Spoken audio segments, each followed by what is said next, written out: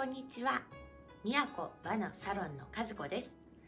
今日は振袖の襦袢と着物の畳み方についてお話しします。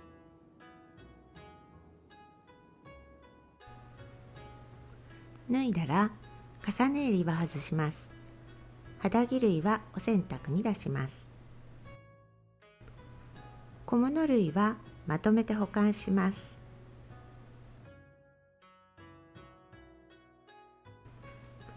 振袖帯襦袢は半日風に当てます。左側に襟右側に裾線となるように座ります。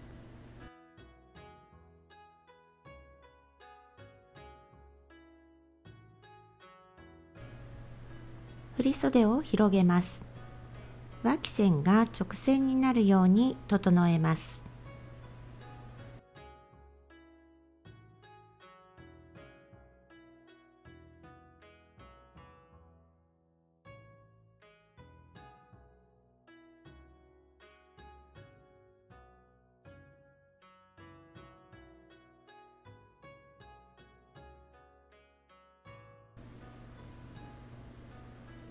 手前側にある袖を畳み込みます。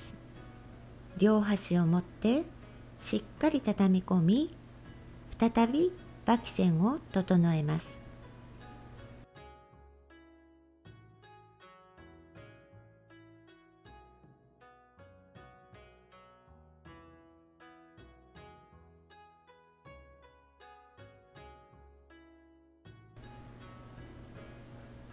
奥見線で折り返します。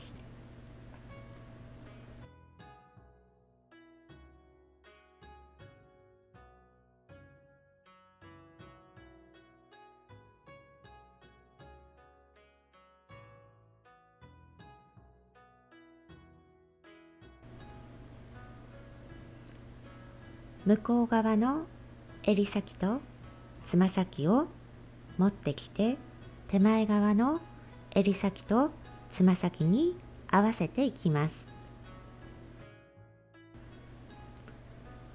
この時点では向こう側の脇線が浮いていますが気にしなくても大丈夫です。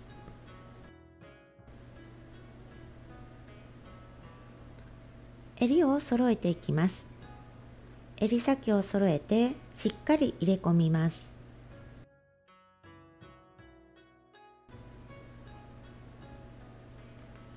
襟を畳み込んでいきます。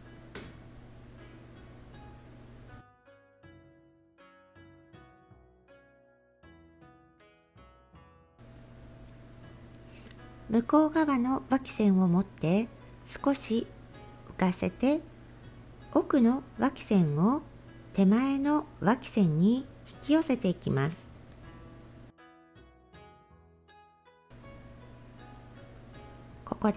再び襟がきちんと畳まれているか確認しましょう。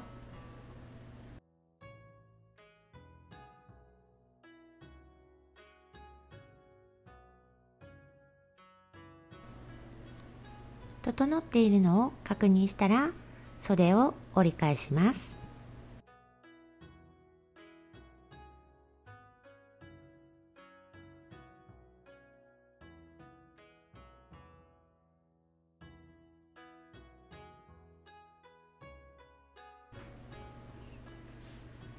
裾線から上げてきます。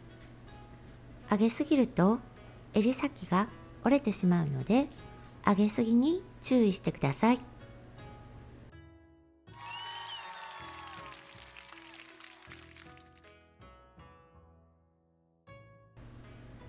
持ち運ぶ時にはさらに2つ折りにします。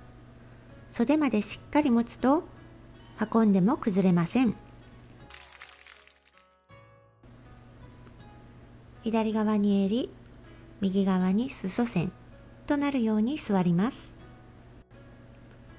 地盤を T の字に広げ脇線を整えます。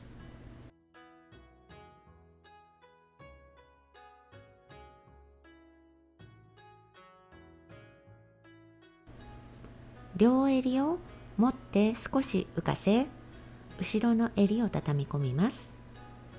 左右と畳んでいきます。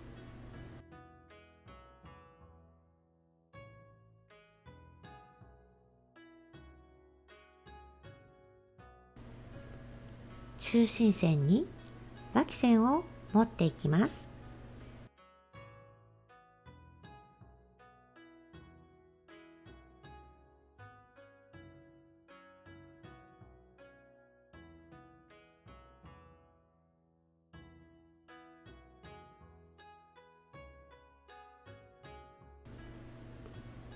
袖を中心に収まるように折り返します。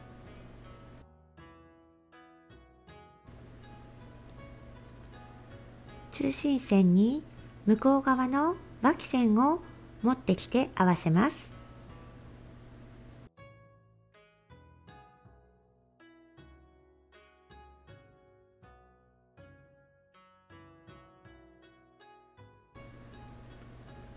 袖を中心に収まるように折り返します。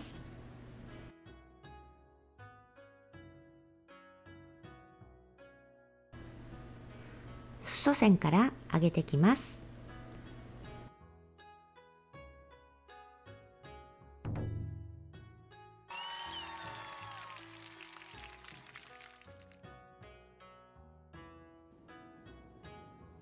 いかがでしたでしょうか？振り袖を脱いだ時に見返していただければと思います。これからもどんどん着付けの技をアップします。チャンネル登録お願いいたします。